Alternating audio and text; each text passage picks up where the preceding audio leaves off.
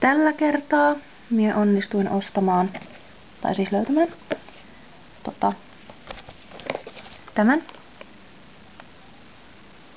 pakkauksen. Eli siinä on tää Twilight veli ja sitten sen vaimo. Ja sitten itse Twilight ja toi noin. Täällä on nää. Nyt mulla on ennestään jo toi. Vähän panin. Eli mulla on ennestään tämä. Ja nyt mulla on sitten tämäkin. Niin multa puuttuu enää tää.